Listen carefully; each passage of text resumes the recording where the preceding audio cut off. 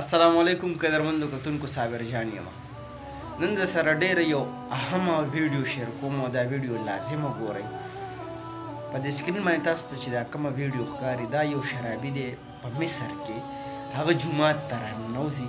نو جومات کې چې کوم کسان هغه ټیم کې موجود و جمع خوشې وه نو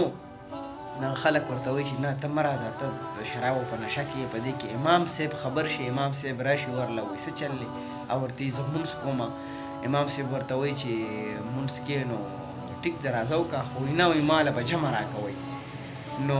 امام صاحب ورته چې جمع خو شوې دی ما له به ځان له جمع راکوئ شرابي دی په دې دغه باندې خونو په خپل هوش او حواس کې خونو خدا خبره کولی مال بزان له جمع راکوي او زبا منځ کوم هم جمع سره بیا امام صاحب دې خبره ته راضي شي او راشي او د چاردام طریقه مرته او خي او بیا هغه نه پسې راولي امام صاحب مخ کې شي او دې چې کم دی ورپسې شي هم دا شرابو په نشه کې او مونږ کوي لګیا وي خو په سجده چې دی کله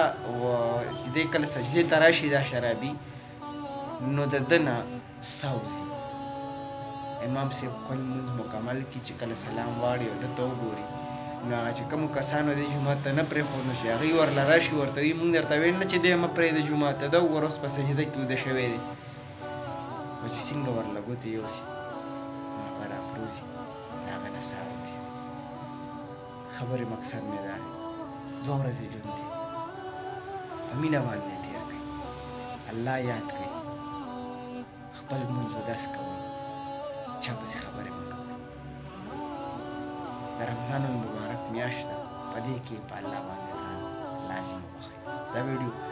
نور خلکو سره لازم شیر کړئ چې هر چېرته اوسئ الله خوشحاله ساتي تل بریالي اوسئ